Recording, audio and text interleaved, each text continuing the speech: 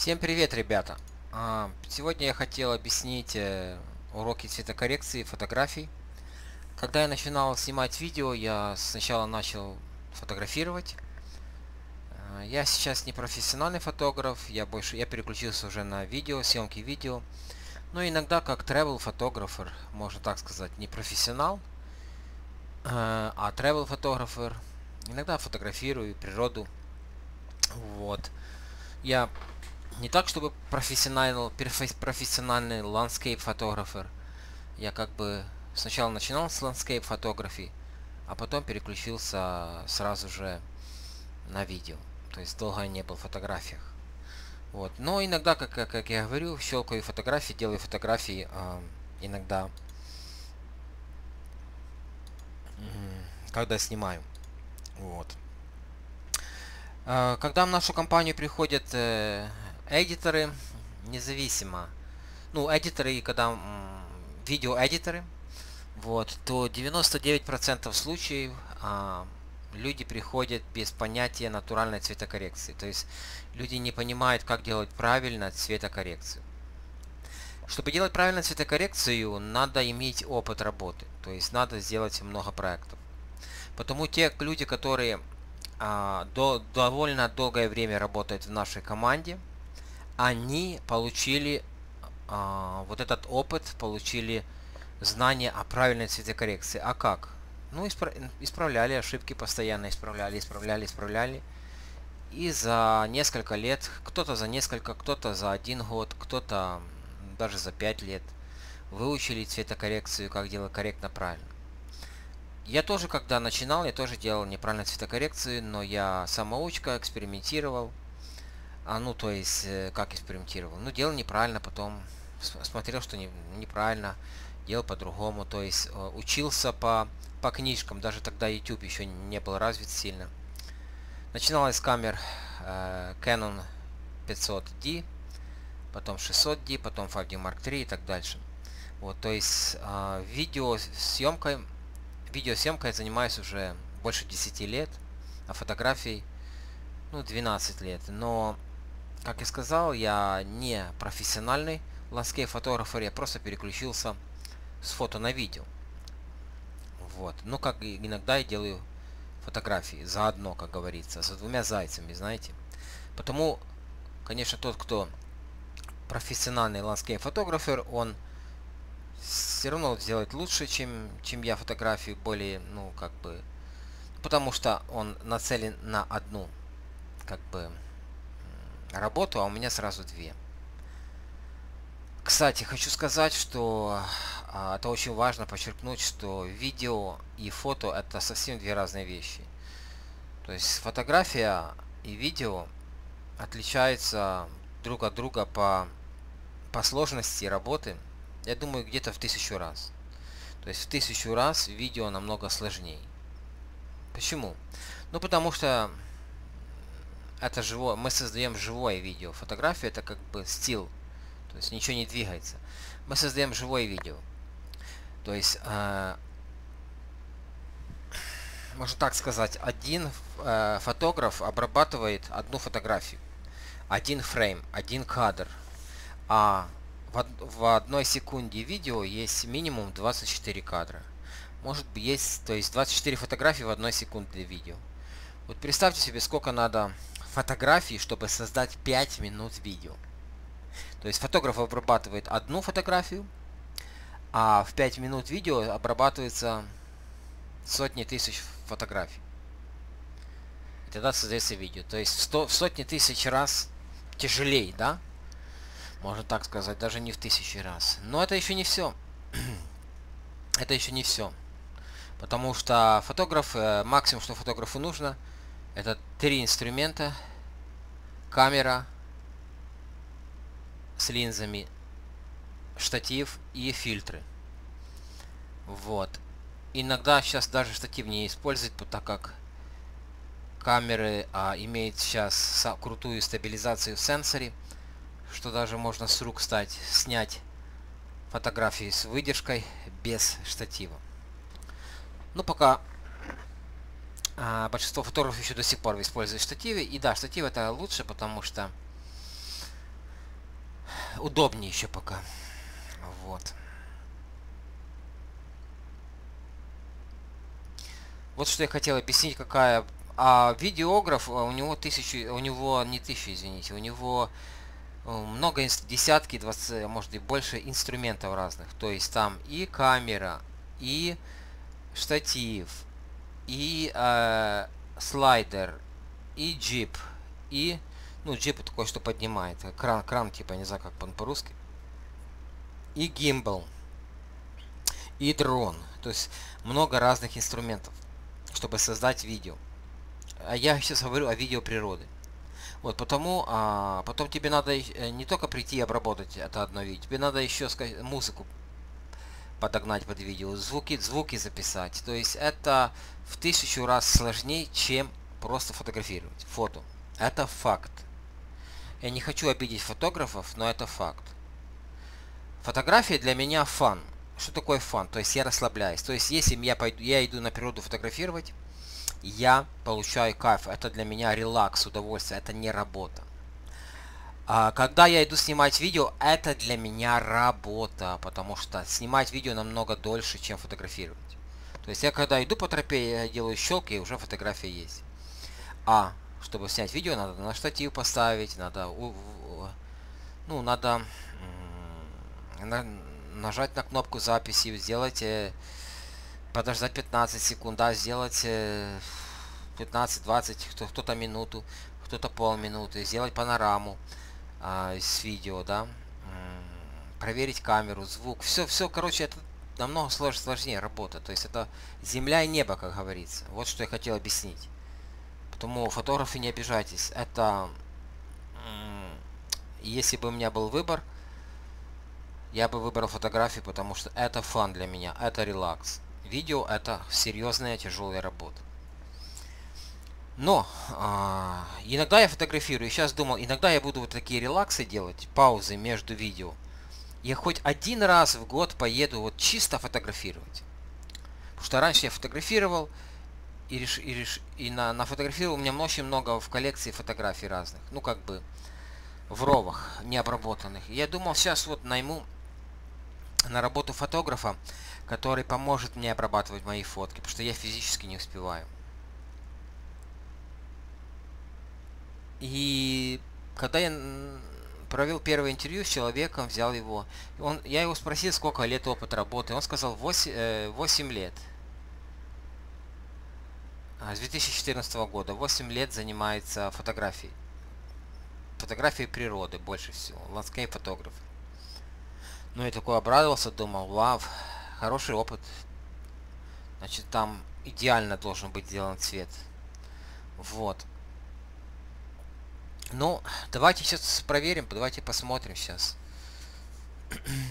Я ему выслал 11 фотографий с разных камер а, для обработки.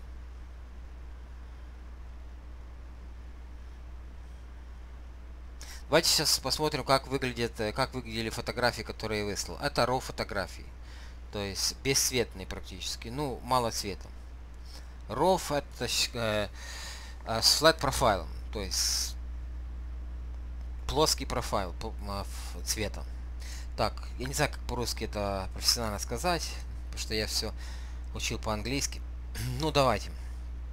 Посмотрим. Вот это Mount Rainier. Я снимал эту фотографию. Сейчас посмотрим. Камера у меня, это я помню, камера Sony 7R. Старая уже камера. Я снимал эту фотку 2014 года. Вот как раз когда, наверное, этот фотограф начал фотографировать. Только. Потом. Это 2015 год. Это камера 5D Mark III.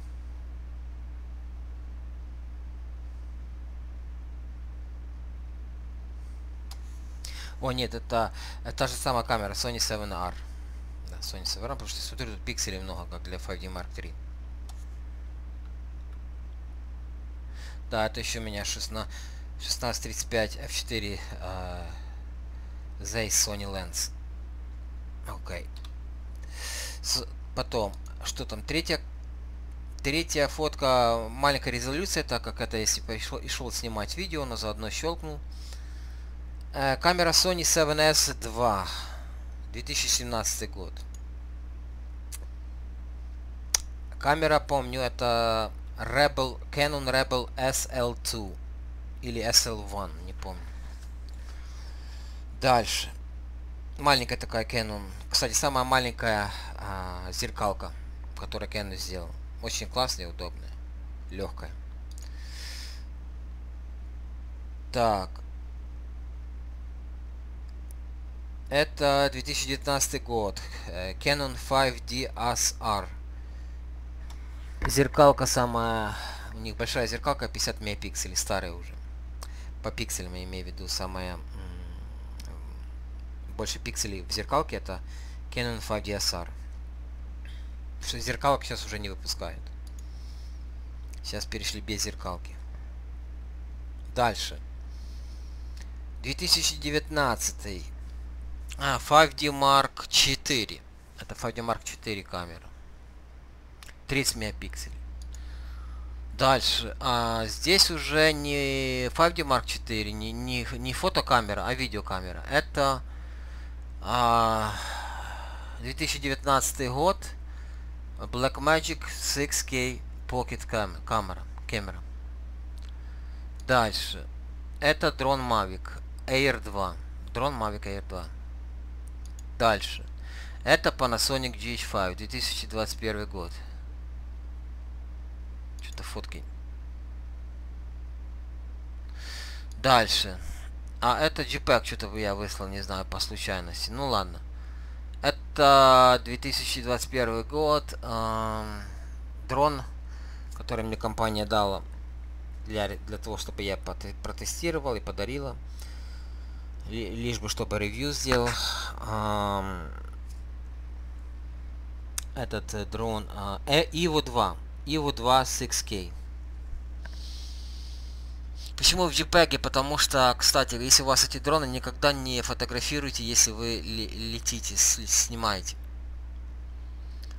Потому что она, этот камера фотографирует в JPEG, когда вы снимаете видео. То есть надо переключиться в фоторежим, тогда в DNG э, в ровах снимает.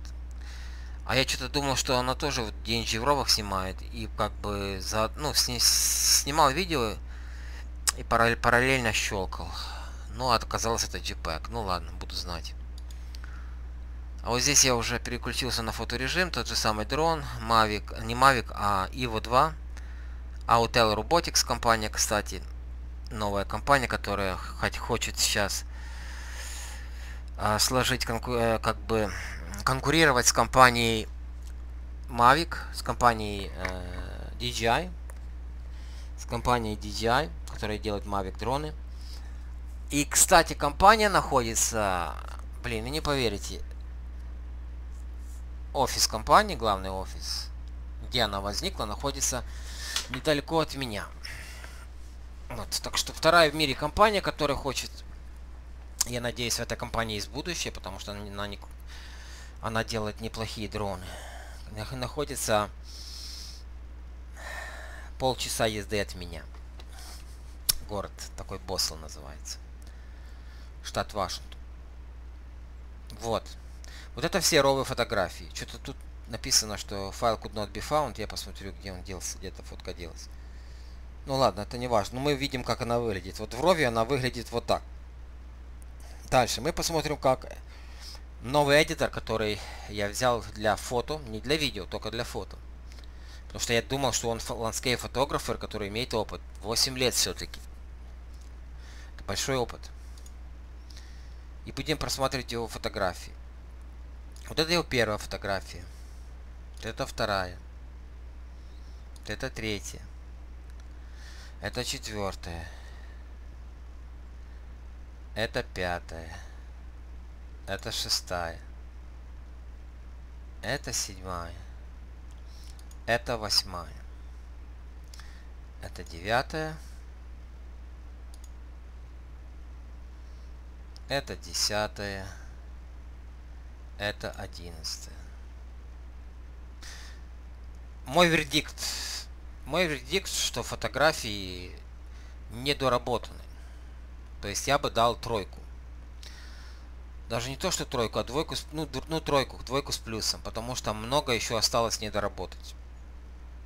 То есть фотографии не недоработанные. Еще раз повторю. Э, э, обделанный на 30%, 70% еще не обделан. Потому делаю вердикт, что фотограф, фото, э, тот фотографер, которого я нанял, так и не получил опыта, в, хорошего опыта в фото, фото обделки, фото цветокоррекции фото за 8 лет. Не знаю почему, не знаю, потому что сделано она не очень хорошо. Вот. Не, ну, это факт, я не знаю. Я похвалю, конечно, человека за то, за усилия, за, за труд, конечно, который он... Ну, то есть, есть что-то сделано. То есть, не то, что ничего вообще не сделано. Ну, на 30% обработано. Но это мало. 70% еще не обработано. Вот. Теперь давай, по, давайте посмотрим, как э, должны выглядеть, выглядеть красиво фотографии после обработки. Это гора Ренир. Это осень. Я не скажу, что она идеально обработана. Э, потому что... Почему, как я получил свой опыт? Ну, давайте сначала я покажу. Это гора Ренир. Ну, она получше выглядит. Намного лучше цветокоррекция, чем та, что у фотографа. Давайте сравним эту же фотку с фотографом. Видите, недоработано. То есть фотографии не хватает насыщенности, контраста и так дальше. Дальше. Вот его фотка дерева. Кстати, это, это дерево, а его уже нет. Этому дереву, наверное, тысячи лет с чем-то было. И пару лет назад оно упало уже потому что был, были ветра сильные и красивое очень дерево. Ну вот, останется в фотографии на, на как бы на в истории, да, что было такое дерево, которому я не знаю сколько лет, может и больше сотни лет. Ну вот. При ураганах на Олимпик National Park оно упало. Э, не, не ураган был этот, просто сильный ветер был. Тем более, видите, сколько моха на дереве, сколько держит. Хотя мох легкий, но все равно есть какой-то вес еще. Мне нравится этот лес, э, его лучше снимать зимой, потому что зимой нету листьев на дереве, они не заступают вот этот мох. Мы больше увидим выражение моха на дереве. Дальше. Вот, а, ну давайте сравним. Вот такая у него фотография, вот такая моя где-то дерево, вот такая моя. То есть мы тоже самое видим ситуацию, что у фотографа недоработана фотография. Дальше. Его фотография леса. Ну так, можно сказать, тут на тройку с плюсом даже. Дальше, когда мы возьмем вот эту, мы видим, что тут мы подняли больше в тенях. Э, это же вечер, вечернее солнышко. Э, оно теплое.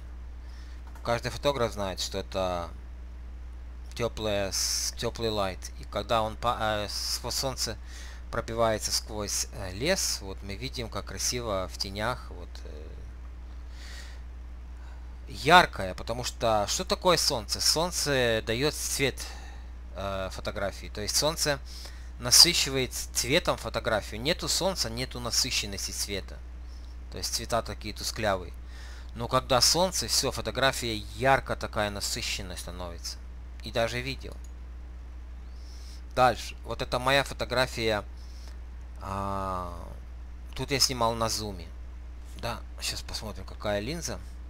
Canon 100-400 миллиметров а, на сотни. На, на, на сотни миллиметров снимал.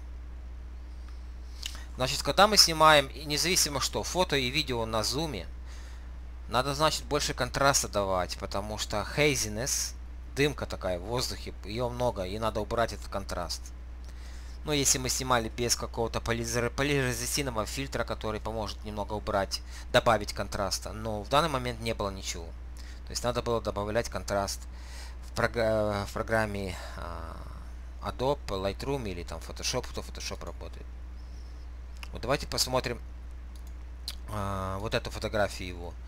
Мы видим, фотограф, наверное, не снимал на, на, на 100 миллиметров, не знает, что в таких случаях, ну, может, снимал, может, пока не понимает, что надо вот делать вот, э, вот мы видим, что цветокоррекция не доделана.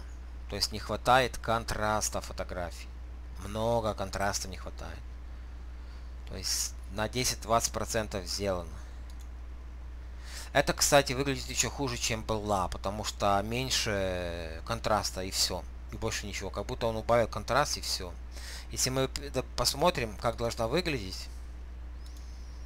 Ну вот так. Видите? Мы видим, что как-то выделяется дерево.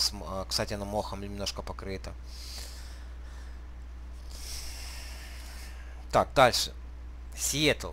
Это город Сиэтл. Я снимал эту фотографию с Seattle Space Needle. Вот гора Ренир сзади, видите. Камера 5D Mark 3. Ой, 4, извините. Почему кто-то скажет, здесь как у тебя камера 5D Mark 4, если такая высокая резолюция? Ну, потому что я использовал новую функцию в Lightroom, которая называется Enchant. Это увеличение пикселей.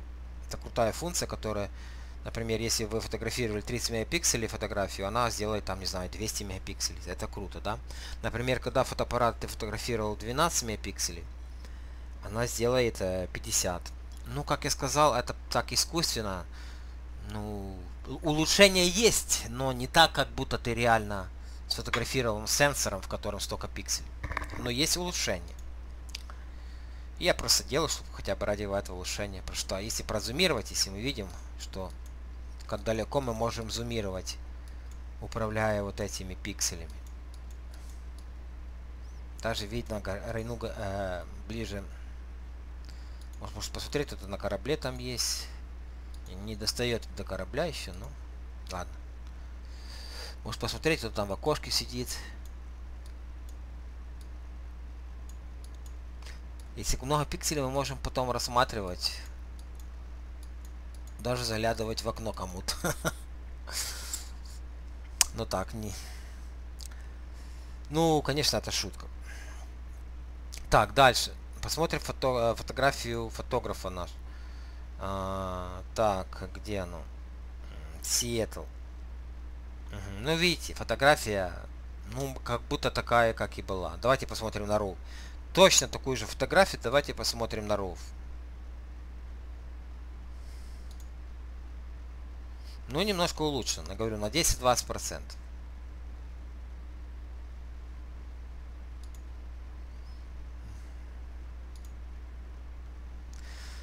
Ну, натурально должна она вот так выглядеть, чтобы ярко, сочные цвета.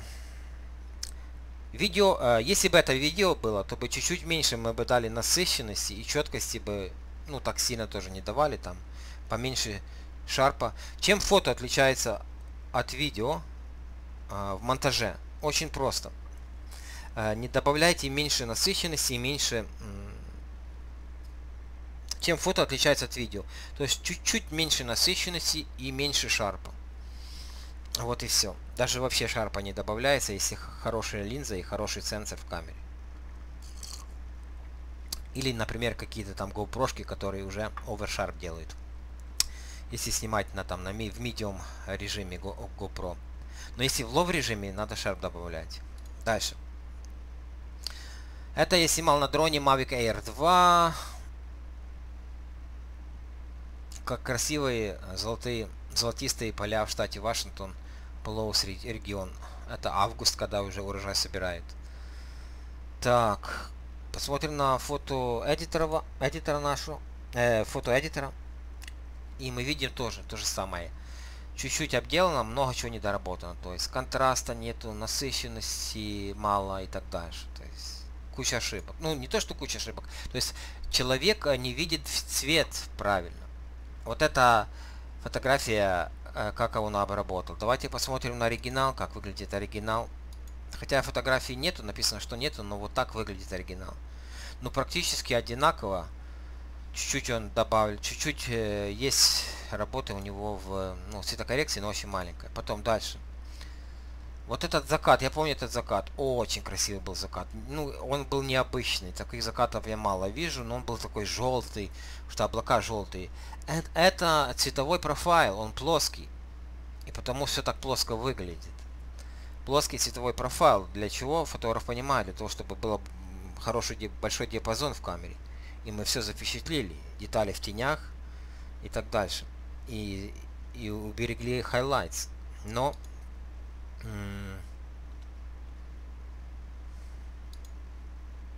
вот так выглядит фотография эдитора. Практически тут нету изменений никаких. Вот как, как была ROV, так и есть. Давайте посмотрим My Photo. А вот так должна выглядеть э, фотография этого заката. Это был такой желтый, такой золотистый закат. Я помню своими глазами. И он видео даже приблизительно такой получился. Вот мы видео делали, видео такой.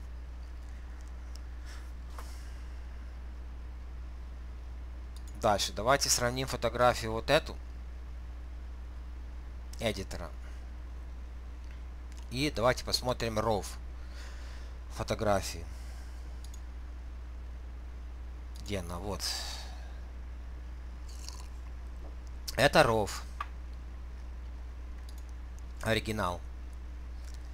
Это эдитор. То есть видим изменения чуть-чуть, но маленькие вообще. Много еще не доработанного. А как должно выглядеть, мы посмотрим вот, вот эта фотография. То есть колоссальная разница, да? Дальше. Если мы подойдем, например, возьмем фотографию RAW, посмотрим вот эту.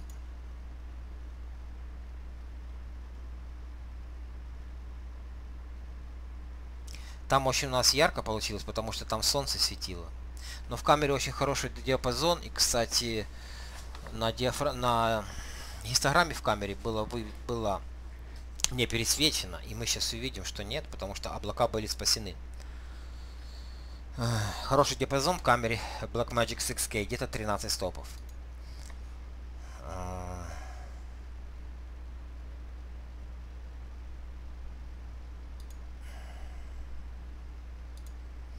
Так, вот посмотрим эдитора сначала. Вот видите, облака спасены. Он молодец, спас, highlight запустил, white запустил, и мы видим теперь облака. Но, но, фотография плоская дальше у нас, недоработанная. Я говорю, 20% сделано. Пойдем на мою посмотрим. Вот, вот как должно выглядеть. Желтое солнышко, это закат. А закат у нас тепленький всегда, да, теплый. Это называется Golden Time. Фотография это называется Golden Hour даже. Золотой, золотой, золотой час. Это когда теплый, golden цвет. Потом уже идет Blue Hour. Вот, здесь Golden Hour. Желтый цвет, теплый закат. Что у нас получилось? А у нас получилось вот так у фотографа. То есть мы видим, что Цвет не видит, фотограф не, пони, не видит цвет до конца.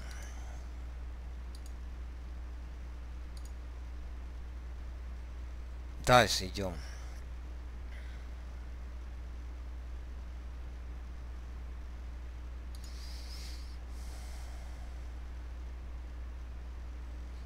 Ну, вроде все посмотрели. Давайте еще раз пробежимся. Вот это RAW фотографии. Запомните. Запомните а, Запомните, как выглядит. Это RAW, это оригинал. Это первая, это вторая. Это третья, это четвертая, это пятая, это шестая, это седьмая, это восьмая, это девятая, это десятая, это одиннадцатая. Идем посмотрим, как фотограф сделал Это первая. Фотограф природы. Это первая. Это вторая. Это третья. Это четвертая. Это пятая. Это шестая. Это седьмая. Это восьмая. Это девятая. Это десятая. Это одиннадцатая. Давайте посмотрим, как должно быть. Это первая. Это вторая. Это третья. Это четвертая это пятое, Это шестая. Это седьмая. Это восьмая. А это девятая. Это десятая. Это одиннадцатая. Вот так.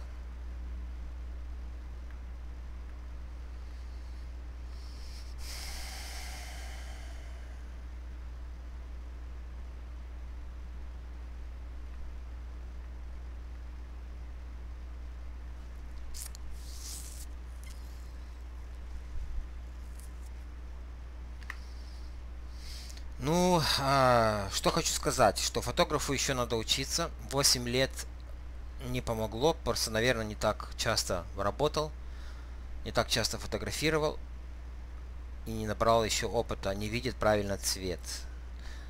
А, мой, а, моя рекомендация, как правильно увидеть цвет. Ну, как я это делал. Вначале я ошибался. Я ошибался и Первый год ошибался, второй, может, год. Но я каждый день обрабатывал. У меня не было совета, у кого спросить. Вот как ты думаешь, как мне нормально цвет обделал? У меня не было знакомого фотографа, который мог бы э, мне сказать, доправить меня на правильный путь. То есть я сам учился на своих ошибках. Но в течение там двух-трех лет я уже понял ошибку и начал после там двух-трех лет нормально делать. Но я каждый день обрабатывал одну фотографию ров э, природы. Каждый день и на протяжении я это уже делаю 10 лет. Бывали дни, конечно, что я пропускал, и бывали недели, но первым делом, что я утром мне нравилось встать и обделать фотографию и запостить ее на Facebook, свою страничку. Посмотрите, там много запущенных. Если вы начнете мои фотографии смотреть с самого начала, то увидите проблемы в цветокоррекции. И чем дальше, чем дальше, все улучшение, улучшение, улучшение. То есть я получил опыт, да, 10 лет обработки цвета. Но иногда и я ошибаюсь. Почему? Потому что я спешу. Я знаю, что у меня какое-то определенное время быстро фотку обработать и запостить. Потому что у меня много работы. Вот. Потому лучше э, проверять еще раз, второй раз перед тем, как постить. Ну, там, например, что-то идти сделать, там, отвлечься, покушать, попить чайку, сделать какую-то другую работу, потом прийти на монитор, сесть еще раз посмотреть на эту фотку в Adobe Lightroom. И, и тогда можно видеть недостатки. Честно говоря, тут я вижу маленькие недостатки. Сейчас. Хотя, Хотя, вот эта фотография а, неплохо сделана, но я бы еще добавил так экспозиции. Исправил свою. И, наверное, saturation уменьшил чуть-чуть на пятерку. Вот так. И может холодненького чуть-чуть. Вот так. Вот так уже очень натурально. Видите, даже если, если бы я бы посмотрел второй раз, обычно у меня нет времени, но сейчас буду стараться это уделять, то бы было получше. Дальше. Здесь. Приподниму, больше света дам. В принципе, так и оставлю. Дальше. Тут я бы чуть-чуть занизил saturation вот так. Минус 5, но не больше. Запомните, очень важный урок. Э, цвет, без солнца не было бы цвета, мы бы не видели его. А солнце дает насыщенность цвета. И когда солнце яркое, когда у нас яркий день, не облачно, чистое солнце, зелень становится намного насы насыщенней зеленый цвет, чем он обычно. При облачном цвете или вообще. Дальше. Тут я доволен фотографией. Можно проэкспериментировать, чуть тепло, ой, э, да, чуть дать температурки. Вот как-то, как-то так. Ну, там мелочи минимально. Тут я доволен. Тут я доволен, но я бы э, приподнял еще экспозиции плюс 10. и опустил по saturation. Вот так. Минус 5 чуть-чуть. Это минимальные корректир, э, корректировки, да, по-русски, как сказать. Минимальная коррекция еще, какая, которая замечена. Когда я спешу, я говорю, я могу ошибиться. Тут saturation приподнять экспозицию, чуть поярче сделать. Опустить saturation минус 5 и контраст чуть-чуть опустить вот так. Все. Вот это идеально сделано. Дальше. Тут тоже минус 5 опустить. И вот так. И вот так. Вот это идеально. Дальше. Ну там был такой закат, я не знаю. Может чуть-чуть еще сделать посветлей. Может saturation попустить. Минус 10. Вот как-то так. Короче, минимальная корректировка, минимальная.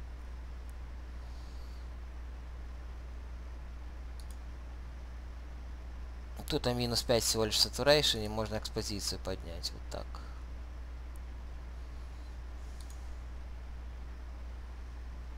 Тут тоже под, подкорректируем, поднимем чуть экспозицию, exposure и saturation минус. Не, минус 5, минус 10, это слишком. Будет уже, видите, когда минус 10, оно обесцвечивается. Так некрасиво. Я бы даже оставил, не опускал. Запомните, зеленый цвет становится всегда насыщенней, если на него светит солнце.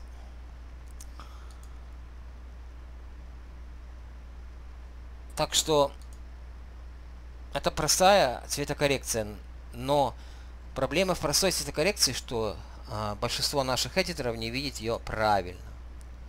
Потому это номер один проблема всех эдиторов, которые к нам приходят. Кстати, сейчас смотрю на эту фотографию и зря это сделал. Saturation надо наоборот вернуть. И экспозицию, в принципе, можно и оставить. Вот здесь нормально сделано. Видите, всегда можно найти минимальные корректировки. Здесь все хорошо. Здесь все хорошо. Здесь все хорошо. Здесь все хорошо. Здесь все хорошо.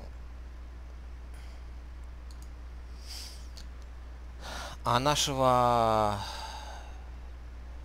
фото, э, фотоэдитора, фото, фотографа, нашего фотографа природы есть проблемы с цветом. Есть проблемы с цветом, потому что человек не видит цвет до конца. Не дорабатывает фотографии до конца. И так конкретно не дорабатывает. То, что, не то, чтобы там какие-то маленькие корректировки, а здесь еще нужно большие корректировки.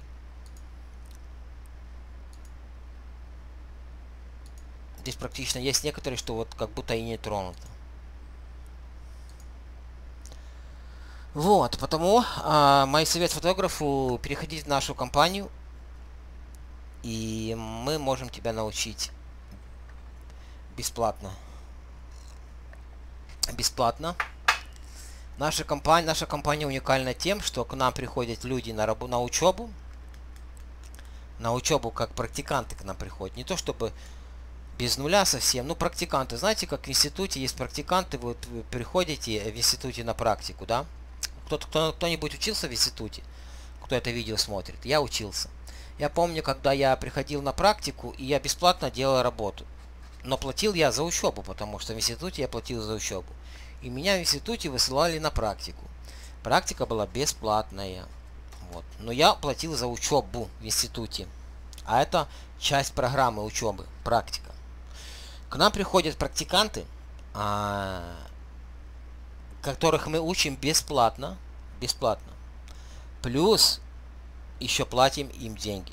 То есть все наоборот, чем, чем обычно.